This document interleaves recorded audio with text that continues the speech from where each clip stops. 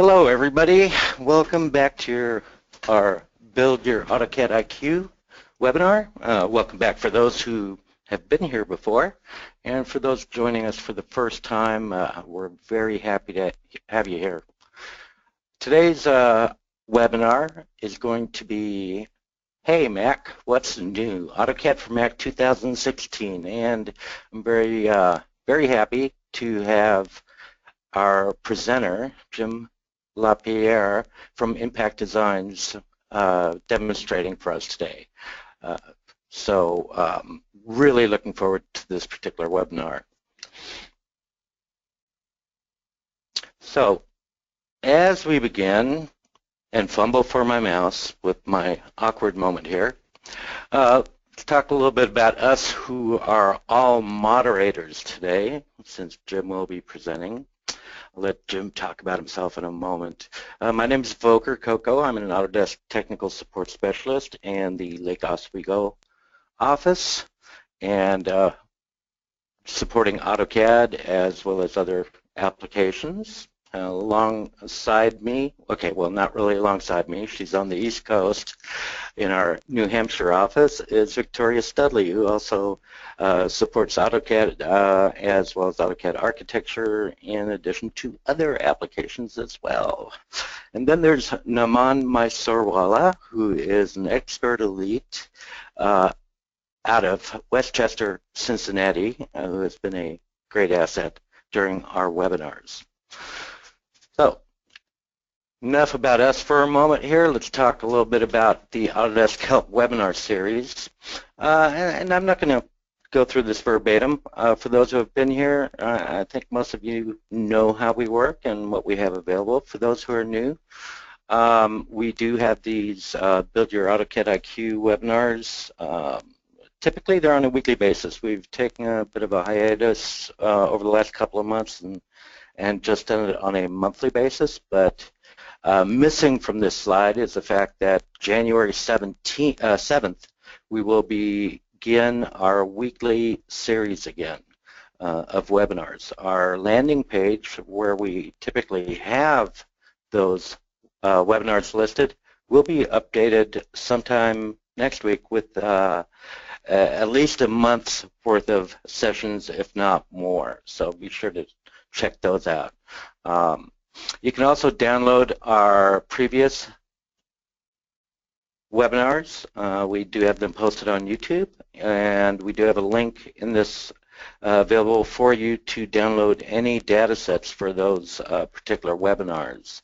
Uh, so you'd be able to follow along right with those, including the script. And um, yeah, again, go ahead and take a look at uh, that landing page.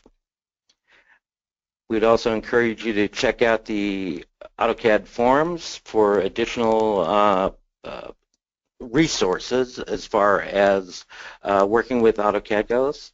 AutoCAD LT, all the vertical applications. There are a lot of great people visiting those community forums, uh, people like Jim, people like Naman, and even us here in Autodesk Technical Support.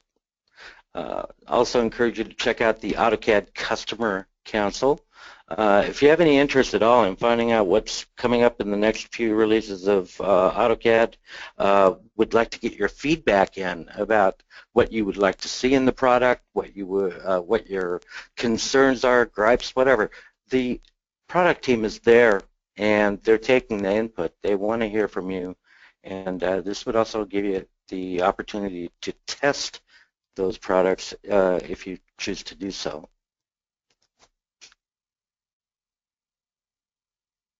And before we get started, feel free to leave any questions in the chat window. We'll try to answer as many of those as we can. Um, for the most part, since Jim will be doing the presenting, we will have a, a good Q&A session at the end of his presentation where we can uh, answer your questions for the remainder of that period. Uh, this session will be recorded again, just like our previous ones. They'll be it'll be posted on YouTube. Uh, the links for both this uh, PowerPoint slide, uh, any additional data sets, and uh, the um, uh, YouTube link will are available right now in that registration reminder you received, as well as they will again be available in the post-webinar survey, and uh, we'll plop them in our chat window as well. So before I hand this over to Jim and have him introduce himself to you, I'd like to run a couple of polls. And many of you have been through these, but our first poll here is, is this your first AutoCAD Help, Autodesk Help webinar? And it looks like um, quite a few of you are return attendees. It's always great to see you guys back. We do have uh, quite a few new attendees, so welcome.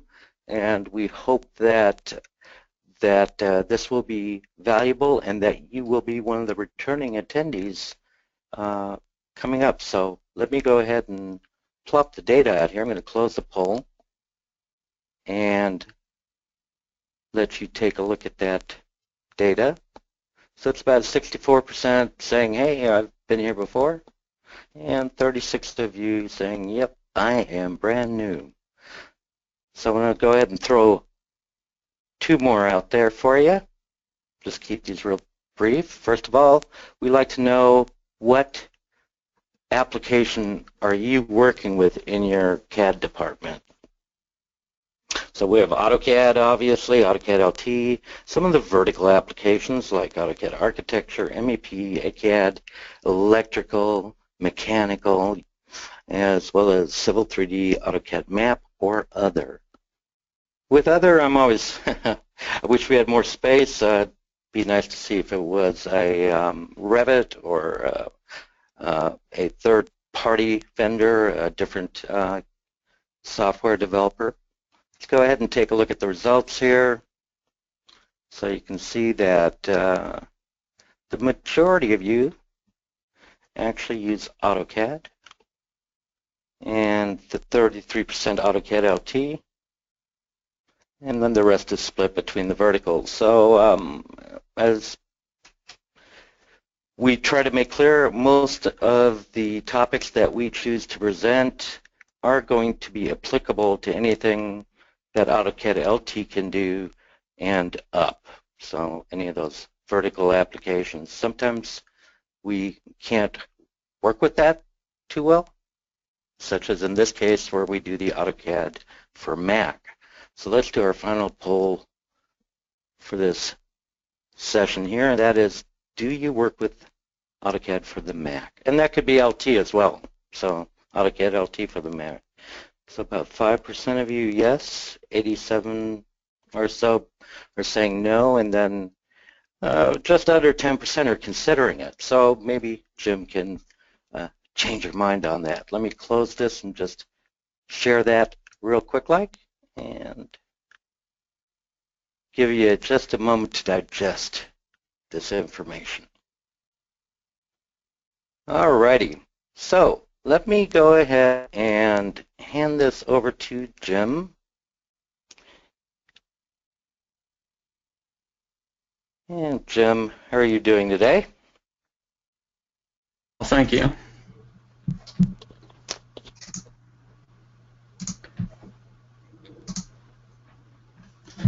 So it looks like uh, hopefully everybody's seen the, the proper screen. It looks like um, should be up. So uh, real quickly, um, again, thank you guys for having me back on uh, the Build Your IQ webinar series.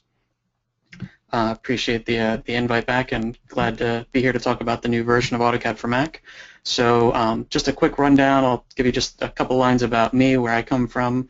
Uh, then we're going to dive right into all the new stuff in AutoCAD for Mac 2016. Um, we've got some new XREF tools, including uh, path mapping. We've got some Express tools, some new dimensioning tools, uh, a bunch of other just sort of miscellaneous useful tools, and then some overall application improvements. So really quickly about me, I started using AutoCAD version 13 about 17 years ago, 18 years ago now. Uh, I've worked in electromechanical engineering, architectural design, telecommunications, CAD management, uh, pretty much anything that has to do with getting black lines on white paper. Uh, I am an AutoCAD certified professional and proud expert elite member. Essentially means I spend way too much time on the forums. And I do own Impact Designs, essentially uh, sort of a CAD management, uh, CAD manager for hire, um, going around the country speaking about AutoCAD for Mac, AutoCAD 360, uh, general AutoCAD uh, for the PC, um, improvements and so forth. I'm also uh, faculty at a local community college where I teach their CAD programs. I'm an author on lynda.com and the iBookstore, and I am a former genius at Apple Retail. Uh, I drank the Kool-Aid, got fitted for my pajamas, and the whole nine yards. So I'm quite the uh, the Apple fanboy. And fortunately, um, I was actually one of the first people outside of Autodesk to see and use AutoCAD for Mac way back when in 2010. Um, and this was something I had been emailing Autodesk about for about two, three years before they actually even really started digging into AutoCAD for Mac. So I was quite happy when uh, when that was released. So again, uh, what's actually new here? So the big ones uh, for XREFs, we've got a new uh, feature called server path mapping. Essentially, it means that on your uh, Mac and your PC, both operating systems tend to look at their network drives in different formats. Uh, PC looks at them in a um, drive letters, so the P drive, the X drive, C drive, and so forth, whereas Mac tends to use the drive names. So there's no letters, it's just the project drive or the hard drive and so forth. So what this allows us to do, if you've got XREFs that use full or absolute mapping, so P drive slash project slash, you know, uh, 2015 slash project 123, and it needs that entire path, you can now map those back and forth and say, okay, when you see the P drive on the Mac side, it's really going to be the project drive. And this way you can you don't have to constantly look for your X-reference uh, files if you're working in a mixed-use environment, Mac and PC. Everything just kind of works uh, better. There's also a new feature called ByLayer override. We're going to go through in just a minute, and I'll uh, show you guys a bunch of actual examples on what this stuff does. But ByLayer override essentially means if somebody's um, change the color of a layer that's in your XREF, or they change the line type, or so forth, you can actually set it to be to show by layer, whatever that proper layer color or line type or whatever is supposed to be, while it's in your drawing. So the original file can be whatever it needs to be, but in your file where it's referenced into, it can just be by layer. So one of the biggest things uh, is the inclusion of a bunch of express tools that we've added in. So uh, text to M text, uh, the break line symbol tool, um, attributes to text or burst, uh, move, copy, rotate, MOCORO. Uh, we've got a block replace command now. We've got super hatch, which is great, and we've also got the change space command. got a bunch of dimension improvements. Some of these uh, you guys have seen in AutoCAD uh, for the Windows side in 2016, including the new improved dim command. We've got some new text wrap features if you've got dimensions. And we also have a new layers for dimensions tool that allows you to set your layers when you use the dim tool um, so that every dimension, no matter what layer you're on, always shows up in the proper layer. And we've got some sort of a collection of other miscellaneous tools. We've got some paste improvements. We've got paste as block now, uh, paste to the uh, original coordinates. We've got some new RevCloud tools, um, moving, copying updates, which has to do with the visual fidelity. Uh, we've got MText frames, which is great if you use um, MText frames. You want to have the box put around all your MText objects. We've got a few other MText uh, enhancements, rulers, and so forth. Uh, we have the new geometric center snap, which you've seen in uh, the AutoCAD 2016 for Windows. We have some new section tools that have been brought over as well. And last but not least are some general application improvements. So we've uh, got the new properties inspector, which is customizable. Uh, we've got some great PDF enhancements. Uh, with we can now have selectable text, and the PDF size has been greatly reduced. Uh, we've got some font handling improvements to help handle all those TrueType fonts some new line smoothing um, to help the visual fidelity again. We've got some command line improvements with autocomplete, autocorrect. Uh, we've got the new render online tool that we can use. Uh, we've got a couple uh, selection updates, preview stuff, um, and then I'm, we're going to jump into the feedback as well, so you guys can uh, tell us, uh, tell Autodesk what it is you think about all these new changes. So let's go ahead and jump over and take a look.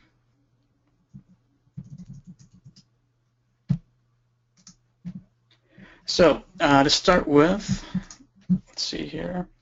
Uh, we're going to jump right into the Express tools. So let's go to So one of the first things is uh, on the Express Tools list is text to mtext. So right here I've got three separate pieces of dtext. You can see they're all uh, individual pieces of text here.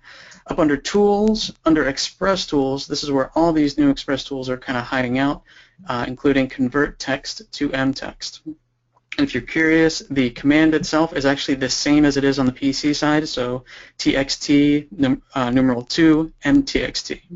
So three text objects were removed and one text uh, mtext object was added. So now,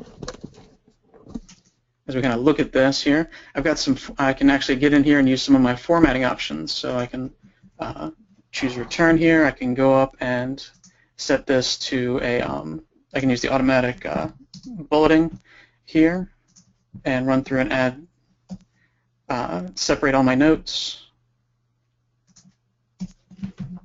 I've got my single mtext object that's a lot easier to deal with. Uh, next up, we've got the break line symbol. So I can remember having to create blocks to do this and having to draw these out and extend them and, you know, just those, all those extra picks and clicks that we used to have to do to be able to make the symbol. Um, so again, under Tools, under Express Tools, we have it right here. It's called the break line symbol. And the command, if you're entering it in the command line, is just break line. So we've got a couple options down here, uh, which block we want to use, the size, and the extension. We'll take a look at those in just a second. But essentially, we're asked for the first point. I'm going to use my object snap tracking and just pick a point right about there. And I'll pick my second point right about there. I'm asked where I want to put the location of the break line symbol. Uh, I'm going to go ahead and hit enter so I can accept the midpoint.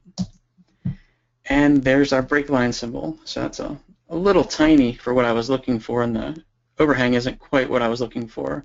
So let's try that again and modify some of the options that we had there. So Express Tools, break line symbol, and this time I'm going to type in uh, S for size, and I'm going to change this to say something like 4. And then I'm going to type in E for extension, and this is how far over the points that I select I want this uh, break line to hang over. So I'm going to change this to 2. And now I'm going to pick my same two points again, so right about there and right about there. Again, I'll hit return to accept that midpoint. And that looks a little bit closer to what I was looking for. So there's my break line symbol. So again, uh, it's drawn as a polyline, so it's not a block, so I can go in here and you know make edits and you know anything that I like. It's just a regular polyline when the command is all said and done. So quite happy to have uh, something like that back in AutoCAD for Mac. Next up is attributes to text. So let's see where my so uh, this is uh, also called the burst command uh, from the Express tools. Uh, essentially, uh, right here I've got two separate um, two separate blocks here. Uh, same block, just copied over, and I'm going to use the explode tool just so we can see what that looks like. Actually, let me change my cursor color here real quick just so it shows up a little bit better.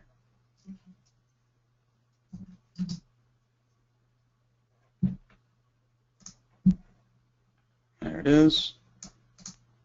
There we are.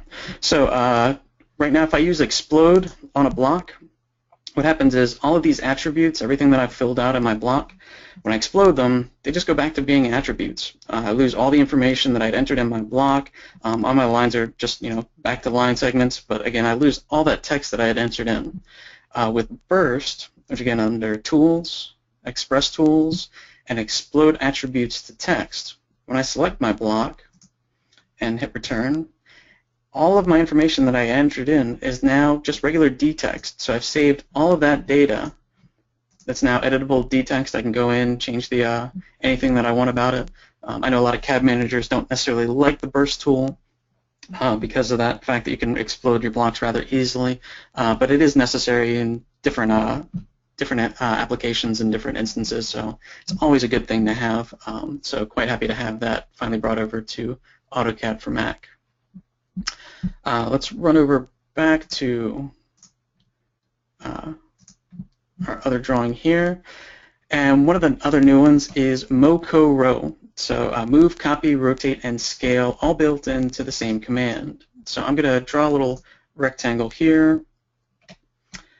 I'm going to select it, go up to Tools, Express Tools, and find Move, Copy, Rotate. So the first thing I'm asked to do is pick my base point. I'm just going to pick the lower uh, left corner here. And now I have all the different tools that I have uh, available to me. So I'll start with Move and just move my object over, again, wherever it is I want it. And next, I'm still in the command, so I'm not moving the object and then having to get back in the copy command, press P for previous to reselect my object, uh, and then reselect my base point. I can move right into the copy command using the same base point and start to copy my objects around. When I'm done, I'll hit return, and notice the last object that I placed becomes my default object. That's the new object that I'm editing. The other ones are just kind of here, and they're going to stay exactly as they were. And now I have my options to, let's go ahead to rotate. Again, right now I'm using the same uh, base point to rotate my object. Now, if that's not the, uh, the uh, one that I want, I'll go ahead and uh, set this back, and I'm going to scroll all the way down here towards the bottom with base. Uh, using the base point, I can go ahead and change the base point that I'm going to be using for all the subsequent commands. So now if I do rotate, that uh, center point now is my new base point. I can type in 45 and press return, and then go right back into another of my commands. So the, the real benefit of this, again, is you're not reselecting all your objects. You're just clicking them once using that same base point, and you have all of these different multi, uh, all these multiple uh, editing options here. We've got the scale option here as well. And I can type in my scale factor, let's say 0.75, and then copy that around, jump over to rotate, rotate that back around 45 degrees. So again, all this without ever exiting the command. So it's a very, very handy little tool. Next up is block replace. Uh, let's go ahead and jump over to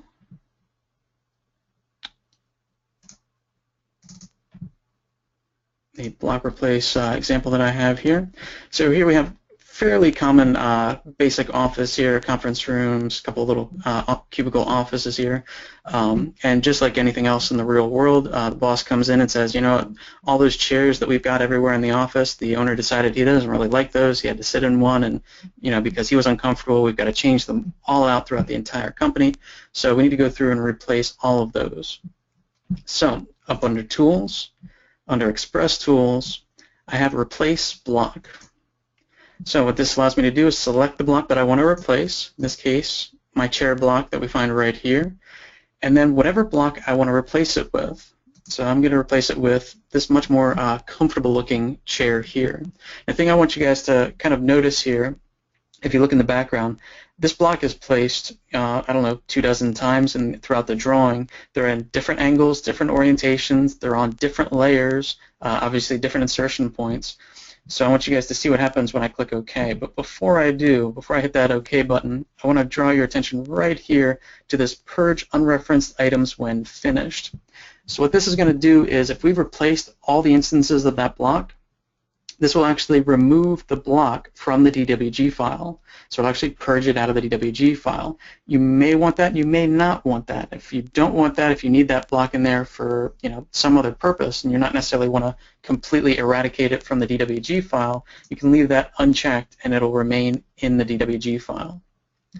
So I'm going to go ahead and click OK. And there we can see all of my blocks have been uh, replaced. They're all in the right orientation, and they're all on the right layer. So it saves me a ton of work when I have to go through an entire drawing and replace that block.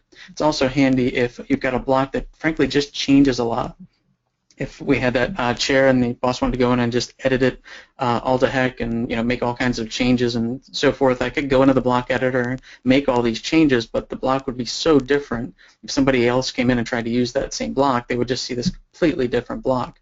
So occasionally it's better to just create a brand new block from the existing one, save it, and then replace all the other uh, instances of the block with your brand new edited block. So again, very handy when you've got a lot of uh, big drawings, a lot of uh, sweeping changes that you have to make. So I'm going to jump back over here, and I want to look at one of my favorite commands that's finally been brought over uh, from uh, one of the Express tools brought over from AutoCAD on the Windows side, and that is Super Hatch.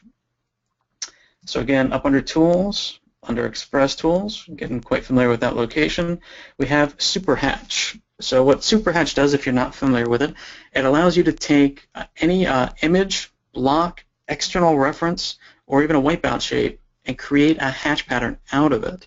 Uh, so in the past, if I wanted to, you know, create a hatch pattern, I'd either, either have to go into the coding and write write out this uh, somewhat complex uh, routine of zeros and coordinates and so forth to create a custom hatch pattern that I may only need one time.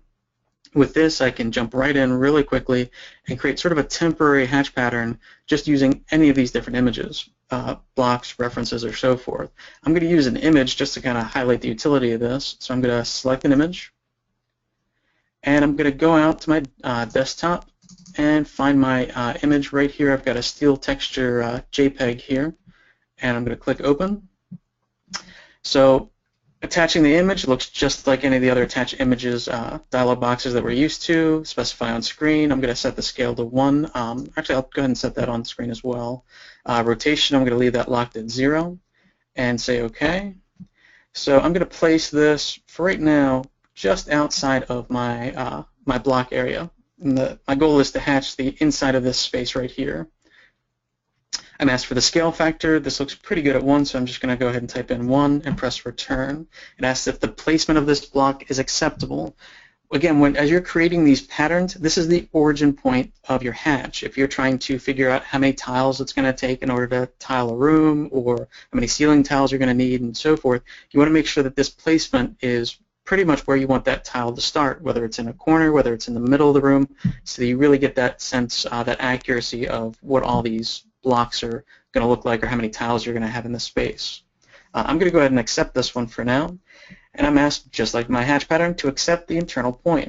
I'm going to go ahead and click in here and press return. And there is my hatch pattern. So again, image is slightly big, so it's going to um, you know give me a little bit of a, a, lag there as I'm zooming in and out. But I want uh, obviously it's you know worked its way around uh, the different hole patterns here, but I also want to draw your attention down here in the command line. There's this option here called T-frames. Uh, T-frames has to do with the object uh, toggling the frames on and off. Right now in my uh, little pattern there, you can see every edge of every one of those blocks. And that might be fine if I'm trying to do, you know, again, some sort of floor tiling pattern and I want to count how many tiles. But in this case, I want to see just a consistent pattern all the way across. So I'm going to type in T-frames, and that turns my T-frames off, and now I've got a much more uh, seamless pattern there all the way across my object. So again, with SuperHatch, I've got a bunch of different options up here, different objects that I can use. Um, aside from images, I can use an existing block if I want, uh, use external references, I can use wipeout patterns. And one of the things that's nice about using an existing block, I'm not sure if everybody knows this, but in a uh, traditional hatch pattern that you create, there are no curved objects. You can't actually have an arc or a circle inside of a hatch pattern. Uh, if you look at any of the coding for the hatch patterns, it's all based on line segments. And if you have a hatch pattern that looks like it might have a curve in it, if you zoom in close enough, you'll see that it's actually created by all these little series of little tiny line segments. However, using a block, I can actually go back, create a block out of a, you know, a wave or a uh, arc or a circle in it, and create my hatch pattern out of that. Um, so I can have my curves and my arcs in a hatch pattern.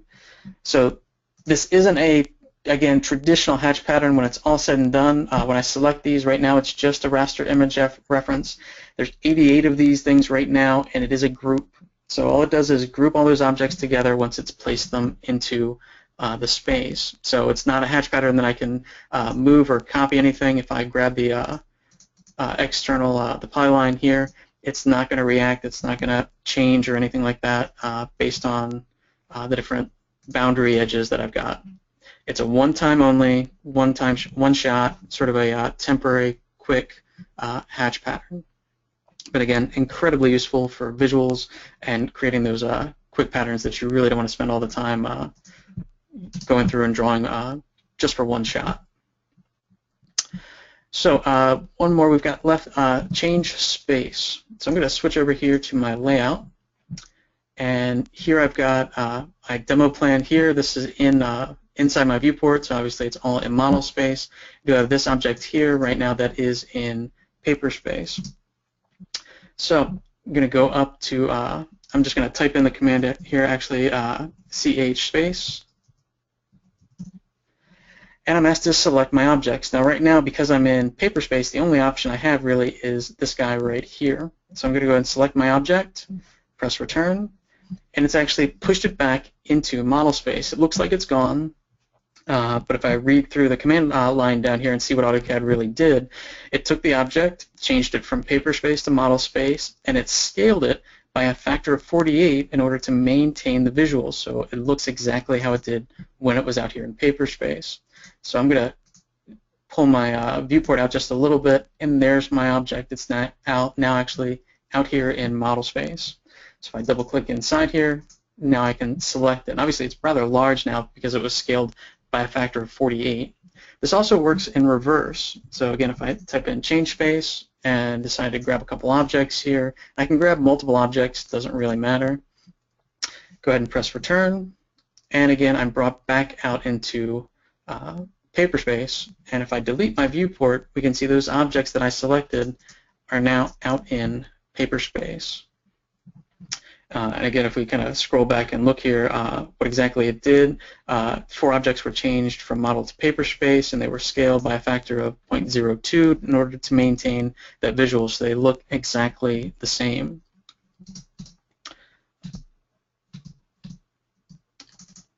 So change space, very, very handy again for moving that stuff back and forth if you've got something temporary.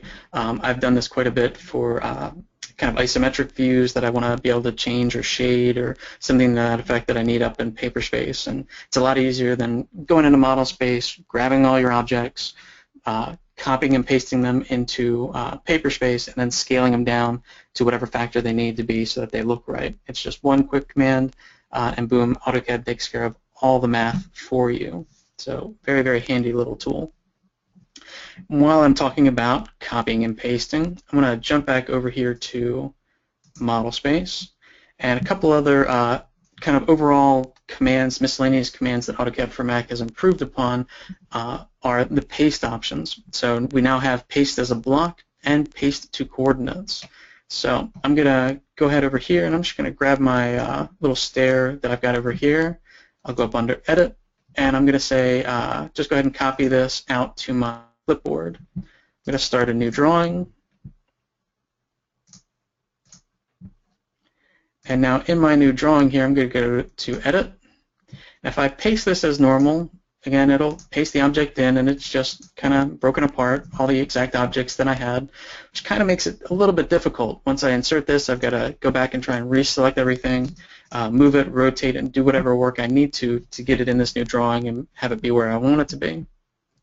But now I can go up here, edit, and I've got paste as a block. Brings in all the same geometry, pick my insertion point, but now it's blocked in a single object. So it makes it a lot easier to select it, rotate it. I only have to select one, uh, one piece of geometry to be able to move it, rotate it, and get it placed where I need to in the new drawing. So very handy little tool. Another handy tool up here along with paste is paste to original coordinates. So if I want to copy something from one uh, uh, one drawing, one DWG file to another DWG file, the only way to do that in the past was to copy with a base point, use some sort of common uh, point like zero, the origin point 0, 0, go to paste it in the new drawing, use that same insertion point 0, 0. It's a lot of clicking and, uh, and typing and so forth. So if I can get away with doing that all in just one command here, it makes my life a lot easier. So again, it's just the individual geometry, but it's in the exact same location as it is over here. So from the original to the new drawing, copied to the exact same location, all the exact coordinates. So again, very handy little uh, paste improvements. These are again tools that were brought over from the uh, the Windows side that have uh, been highly requested. So very glad to have them over here now A couple other commands. Uh, let's move on to the dimension command. So uh, up here under the annotation uh, tool set here under the tool palette, we have the new dim command. So this isn't, uh, it's got a little starburst there. Again, it's very similar to the Windows version, but I can start the dim command, and instead of having to pick if I want linear, angular, uh, baseline, ordinate, uh, or anything else, all I have to do is actually hover over the object that I want to dimension. In this case, if I pick my uh, my point here, and I'm going to turn off my object snaps here just to make this a little bit easier, I can actually select the line segment and create my text there, or create my dimension. Uh, again, I'll start the command, hover over my object, it'll select it, and I can draw my linear dimension. Now, I don't always want to just be able to select my object. Maybe I want the distance between two objects. So I can select my object, first object here, and then go up and select my second object, in this case, a parallel segment, and get my dimension between those two values as well.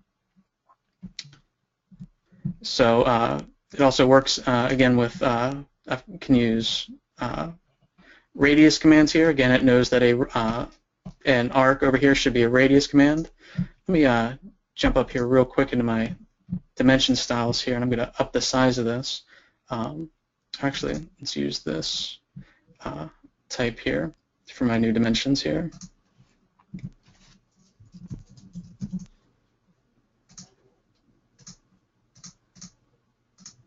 Set that as current. And let's get rid of these guys and just try that one more time, make it a little bit more obvious. There we go. So again, I can select my uh, my radii. It also knows that holes should be diameter. And the nice thing is it keeps me in this dimension command until I hit return or until I get out of it. So I can go through, pick my points, and just really quickly knock out my dimensions here.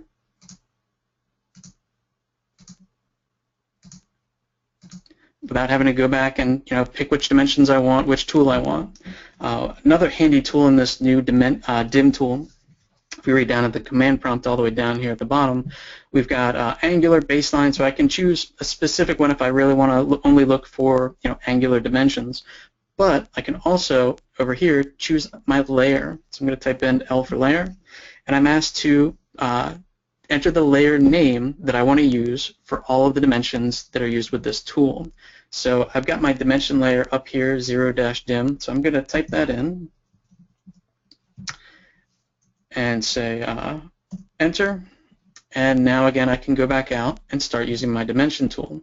So notice my current layer is still layer 0, but every time I create a new dimension, it's going to be on the right layer. I can jump out of this, jump into my line command, and we can see again, I'm in the, the uh, layer 0 here, but as soon as I jump over into my dim command, I'm back in the proper layer.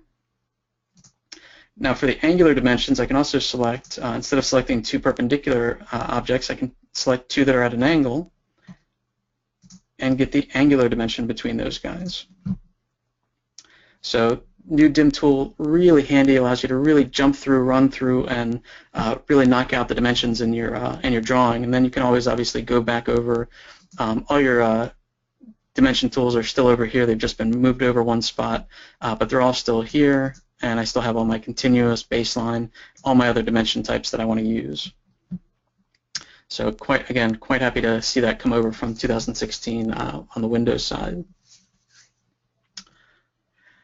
Another handy tool in the, uh, the new dimension uh, that has been brought over is the text wrap. So if I have um, a lot of text here that needs to be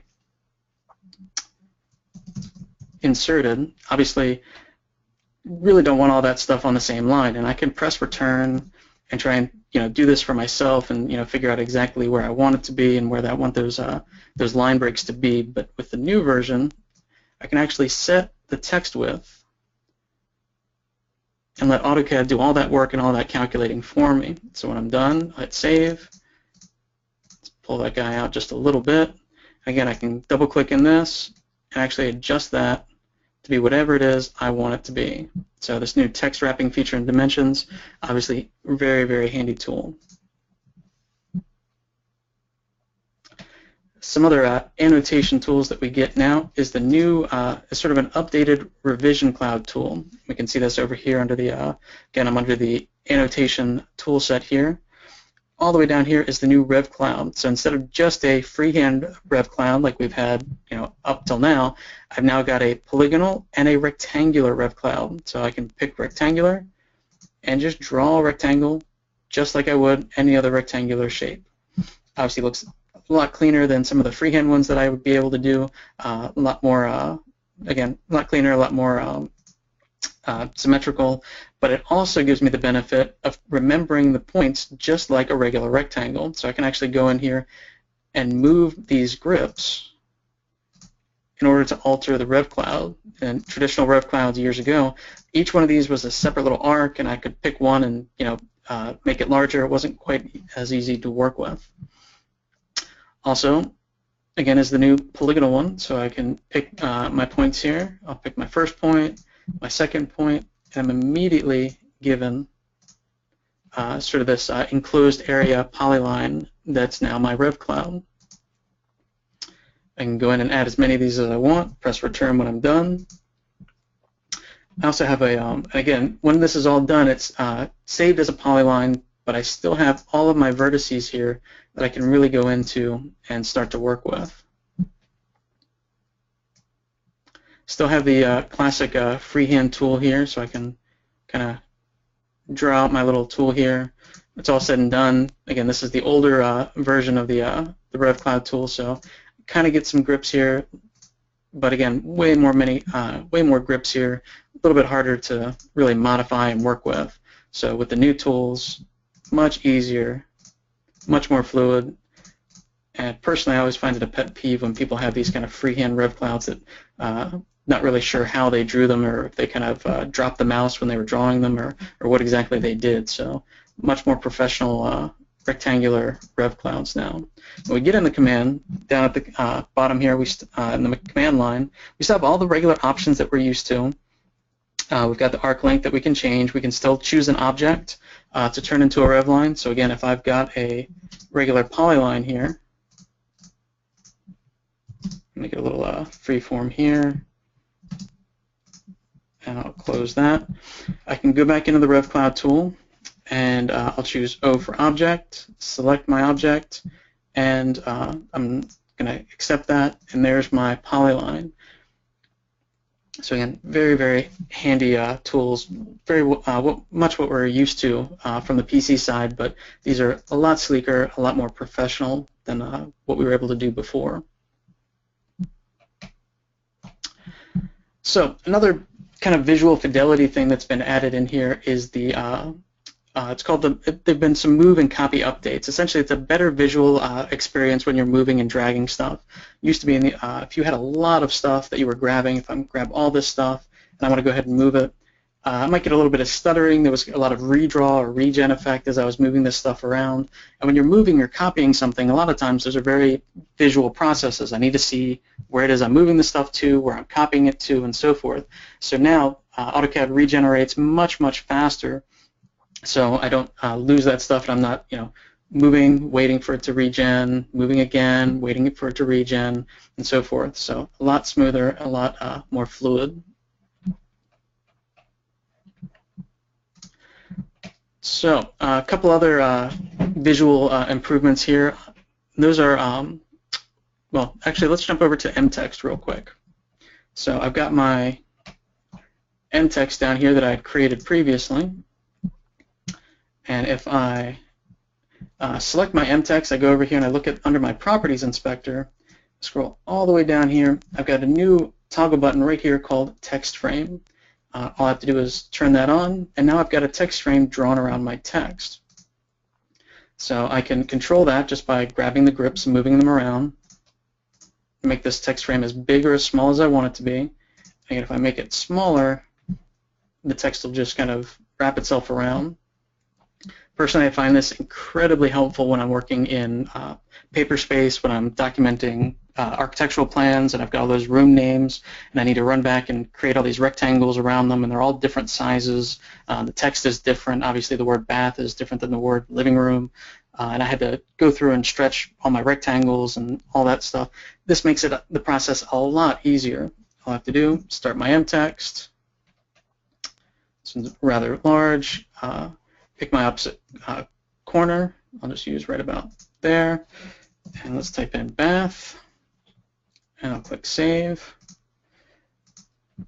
I'll select that text. Scroll down here again to text frame. And there's my text frame for it. If I copy this over, I'll double click inside, and this time I'm going to change this to, let's say, living room.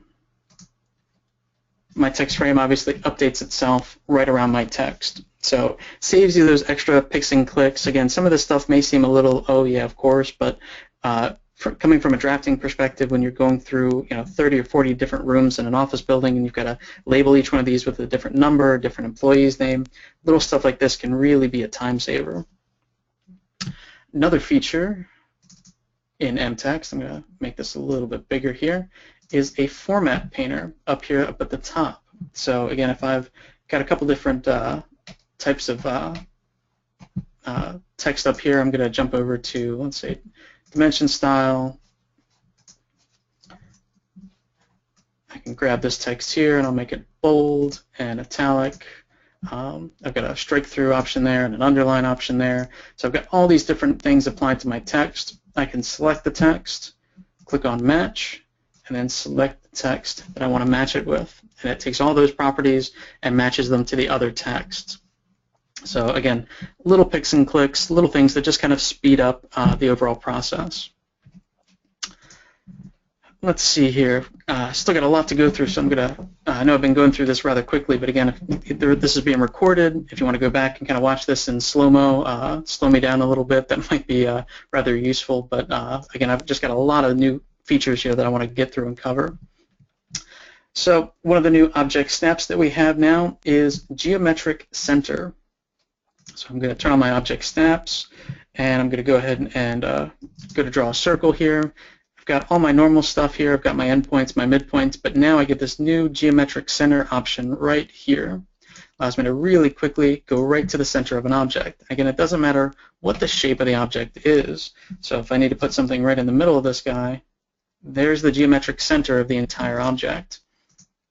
So brought over from 2016, but uh, very, very uh, useful little tool there. It saves me a lot of the um, M2P command uh, that I'm used to, um, typing in that M2P uh, option. So M2P from here to here, still getting that same uh, point.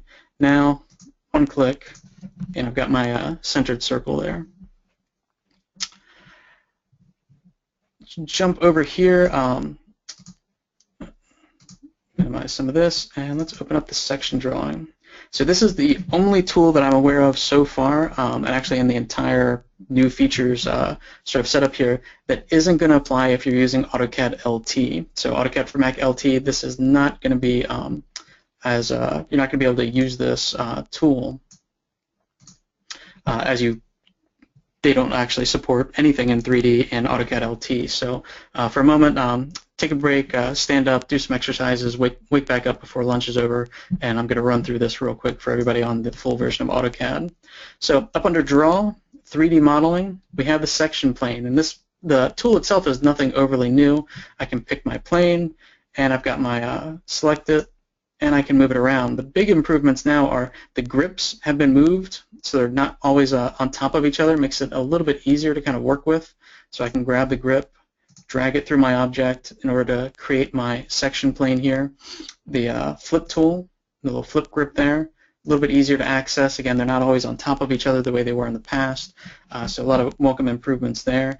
And the big new one also is a new boundary tool. So under the little dynamic grip that we get right here, we've always had plane, we've always had slice. Now we have the boundary option.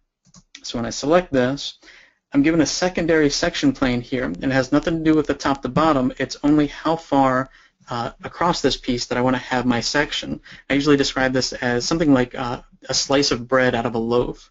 So I can grab the little uh, grip here and actually slice from the front to the back. So I can end up with just the uh, part of this that I want. I can grab this and move it in, move it out, and get more or less of the object. So it's completely independent from the main plane here, but it just sort of gives me those options of left to right and to create my slice uh, here as thick or as thin as I want it to be. I don't know about you guys, but I like a, a Texas toast, so I like a nice, real thick slice of bread. So this allows me to, to get that and uh, work with that. All right. Uh, one of the things, uh, one of the uh, things I was quite happy about, finally, and it's something that AutoCAD for Mac has struggled with since its inception, is working with PDF files. Uh, the PDFs that were created in AutoCAD for Mac were usually a lot larger than the ones created on the Windows version, uh, and um, when they were created, the PDFs were actually rasterized, so you couldn't select the text. There was nothing vector uh, really about them. They were all just one big sort of image. Uh, so right here I've got two PDFs. This one was created in AutoCAD for Mac 2015. This one was created in AutoCAD for Mac 2016. Real quickly, when you look at them, you can see that essentially uh, same file, nothing overly uh, different here. Everything looks pretty much the same, but we can see the size difference here. So 2016, that file is less than 2 megabytes in 2015, that same file, same settings, created the same exact way, is actually seven and a half megabytes. So you're talking about a you know, little over a third uh, of the size that it used to be, or that it was previously, actually just below a third. So um, again, much, much better, and the fidelity of these is a lot better, and the functionality of these PDFs is a lot better. So in the old version, I'm going to open up this PDF real quick here. So again, if I wanted to uh, select my text here, if I try and select any of this, I get everything. It's, these aren't uh, selectable text objects, they're just one big raster image. But with the new 2016, if I open up that same file, I can now actually go in and select and copy my text out. So I can go in here, copy it out, paste it into another file. This is really useful if you've got a bunch of blocks or uh, a bunch of notes uh, that you want to pull out into another file. So again, visual fidelity a lot better, file size a lot smaller, and uh, selectable text now. So PDFs drastically improved from the previous version. So again, very, very uh, fortunate to see this now in the new version. I jump back over here. So uh, just a couple more quick things here. Uh, font improvement. So uh, the new uh, AutoCAD for Mac 2016 uh, handles uh, TrueType fonts a lot better. Uh, the command, if you want to see exactly what that's doing, is called DT text. So DTTEXT. Um, what this allows you to do if it's turned on, if it's the value is 1, it's turned on, and it's essentially trying not to, um, it's trying to display all those true type fonts in a much more efficient way so they're not constantly, uh, you know, stuttering and regenerating and so forth. If you find it's got an adverse effect on your machine somehow or uh, you're not liking it, you can always type in, uh, type in the system variable and just set it back to 0, and it'll turn that feature off. Another uh, feature that we have is the new line smoothing system variable. I've got it copied it right here. This is the exact system variable that you want to type in. But I'm going to zoom in here and we can kind of, uh, if I regen this, you can see this is a very nice smooth uh, curve here that I've got. I'm going to type in line smoothing and I'm just going to turn it off. As soon as I do, you can see this immediately becomes a lot more jagged. Uh, it's a little bit less stressful on the system, but the visual acuity of this, the visual fidelity, is a lot worse. It looks a lot more jagged, a lot more old school. So if you go back in, turn that on, and again, as I hit return, just watch the edges of that curve smooth themselves right out. So again, that's the system variable right there is line smoothing. Uh, and it really only works, uh, just in case you're curious, it only works right now in 2D wireframe visual style. So if you're working in 3D, it's not going to do quite as much, but if you're in 2D wireframe, it's going to help out a lot with all those curves and, uh, and curve shapes. All right, some command line improvements. Command line, undoubtedly my favorite uh, feature of AutoCAD. It's one of those kind of holdover DOS things. I just love the programming interface of it. It's the communication center. It's how AutoCAD talks to you. I just love that feature. And now it's obviously gotten even better. If I right-click down here in the command line, obviously I can see the uh, previous commands that I've entered in. I can run down through them and select one.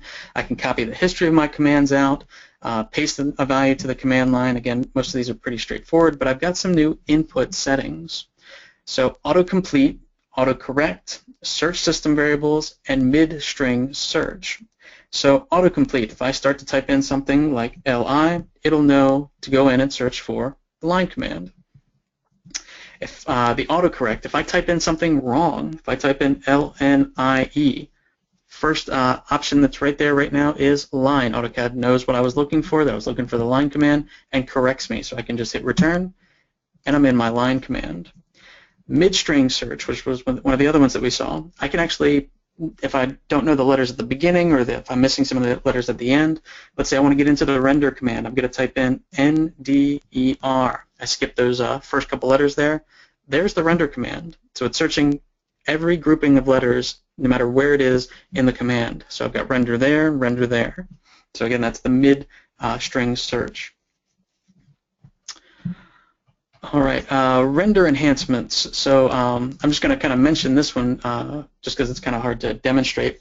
In the new AutoCAD for Mac 2016, uh, we have the option to render online. So it uses your Autodesk, uh, your A360 account, so make sure you're signed up for that.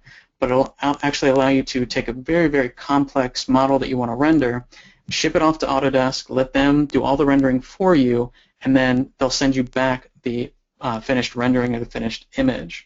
So instead of your computer chugging along for two, three hours or overnight with its, you know, quad-core processor, you get an entire warehouse of computers that are all working just on your file.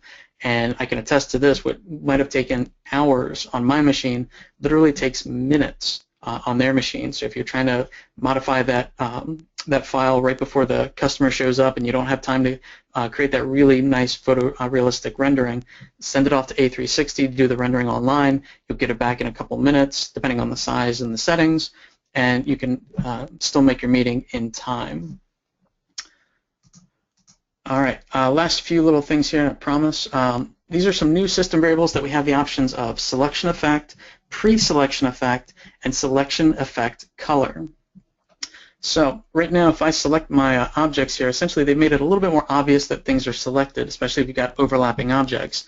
Uh, they become a little highlighted. I get this little kind of glow about them, and they thicken just a little bit. If I turn off that value, so selection effect, I'll turn that off, and I select the same object, I just get my dotted lines. So again, a little bit less taxing visually, but not quite as obvious. If I've got a lot of hidden lines, it's not as obvious that uh, which ones I've selected uh, pre-selection effect. Right now, if I hover over an object, again, it sort of tells me what it is I'm going to be selecting. I get the little uh, highlight there, and it thickens the object. If I type in pre-selection effect, I'll turn that off. It simply turns that off. If you ever have a, um, or that effect off anyway, it just kind of uh, subdues it just a little bit. Uh, the last, uh, last one here is selection effect color. If you want to highlight in a slightly different color, Let's see if I can type properly. And uh, instead of uh, color 0, let's do, let's say, color 1. And now, and let me turn back on my selection effect.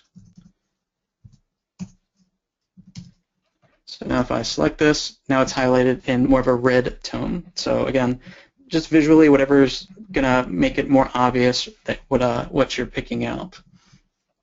So I think that's the just about all of the new uh, enhancements for AutoCAD for Mac 2016. Um, uh, again, obviously, there's still some stuff that hasn't been brought over, but this is a huge update. Uh, I think there's like something like 35, 40 individual uh, functions or uh, system variables and so forth that have been brought over.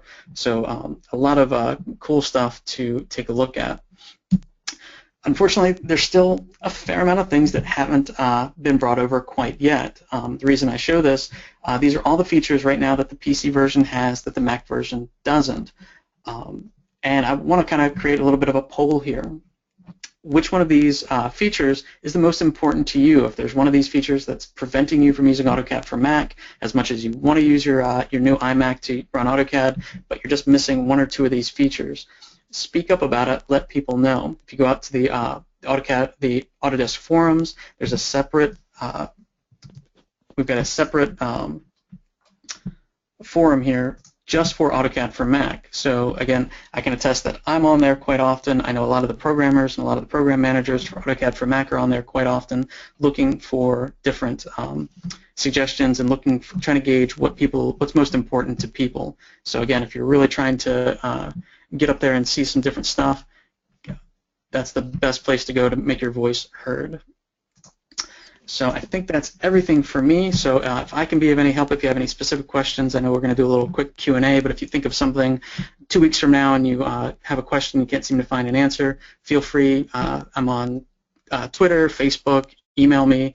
Um, if you're interested in learning more about AutoCAD for Mac, I have a bunch of courses on lynda.com, which is a great uh, learning website. And um, I'm, I'm going to have a new new features for 2016 guide uh, in the iBook store coming up very, very soon.